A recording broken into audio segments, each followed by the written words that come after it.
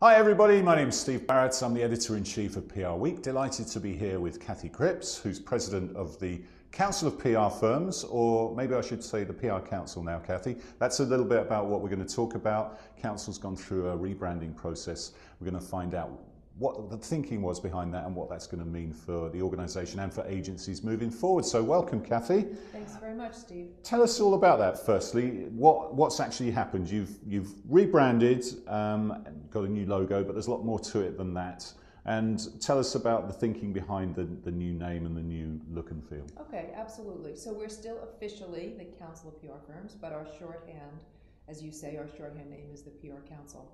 We really started this process almost a year ago, and it was in combination with member surveys and some meetings with our members, just talking about how the business was changing and what that implied for the for the council. As the trade association for the agencies, we need to be servicing the members, and since their business is changing so much, it meant that we needed to assess how we could change and how we could support them in in their growth. So, so what are the big issues that were lying behind that uh, decision? There was talk about having a more of a focus about broadening the people that you're going to target. So CMOs being much more of a target now for agencies, for example, and even I think under discussion at one point was maybe even dropping the term PR from the name. Think, tell us a little bit about okay, that. Sure. So as we started thinking about this idea of a different positioning for the council. We knew it had to involve clients because a lot of what we do right now really focuses on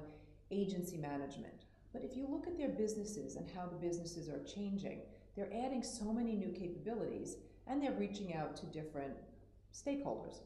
In one of our surveys, we asked them, who was your, your number one client now? And it's the marketing department. It's the CMO and the CMO staff. They're still obviously very, very involved with chief communications officers, but marketing has become a bigger target for them. And when we look at what we do as a trade association, we didn't feel we were doing enough to speak to the clients on behalf of the member agencies. So that's the target of our new rebrand is really to reach clients. Now it's not just marketing because a lot of our members do work with business to business clients with uh, as I said, chief communications officers, procurement obviously is a client. So it's really looking at what we do to be more externally focused to reach those different stakeholders. So, what are the concrete things you're going to do over the next 12 months, say, to open up that uh, agenda and widen that audience? The first thing we need to do is go on an input tour. That's what we are starting uh, in a couple of weeks. We'll be going to the individual markets, meeting with our members, and talking about how they think we can get to their clients in a better way. And um, making some other resources available, some additional training. We do some, what I'll call a mini MBA program right now. Um, we'll probably expand those kind of business programs that we do for the members. Also making other types of resources available, whether it's, it's video, um, things like that. But the big thing externally that we want to do is to connect with more clients. So we'll be looking at the types of, I'll call them vertical groups that can help the agencies interact with the clients more. Some people said you should have dropped PR. Um, the agency model is broken. Um, how do you respond to those people, and how close did you get to actually dropping PR from the organisation? So name? we hired a branding company to help us. We hired the Infinia Group, and um, they did some research with CCOs, CMOs, and a few procurement people. And what came back to us in a surprising but very um, gratifying way was that PR, public relations, is actually a differentiator.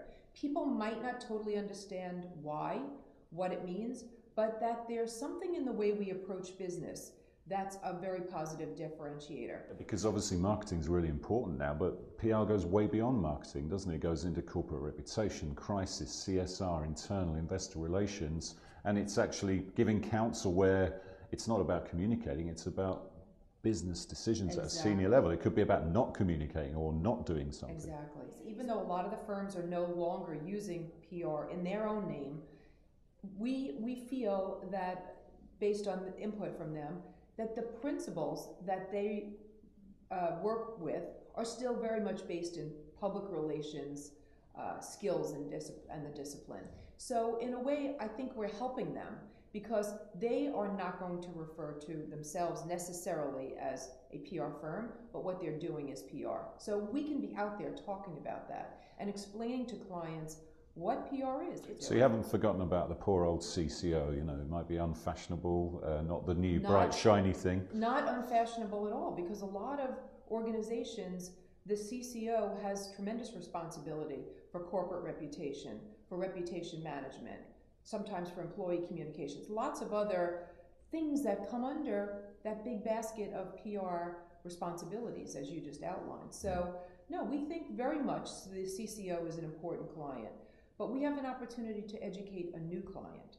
And we know that in a lot of places, the, the marketing people are new to their jobs, they're new to having responsibility for PR budgets.